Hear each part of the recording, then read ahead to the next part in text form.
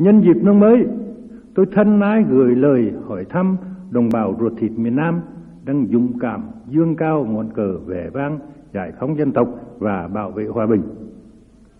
Chúng ta luôn luôn chủ trương rằng thống nhất nước Việt Nam là sự nghiệp thiêng liêng của toàn dân Việt Nam.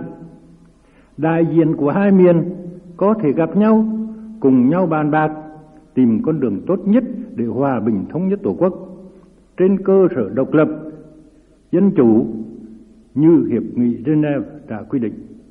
Chúng ta kiên quyết chống đế quốc Mỹ can thiệp vào nội bộ của nước ta.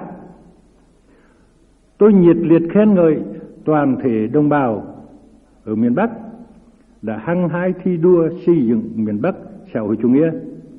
Năm mới, nền kinh tế của ta càng phát triển, tiến bộ càng to lớn, nhưng yêu cầu và khó khăn còn nhiều. Đó là những khó khăn của sự trưởng thành.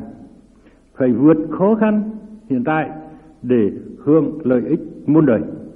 Đồng bào ta, công nhân, nông dân, trí thức, bộ đội, cán bộ, vân vân, hãy nâng cao tinh thần làm chủ nước nhà, hãy ra sức thi đua tăng gia sản xuất, thực hành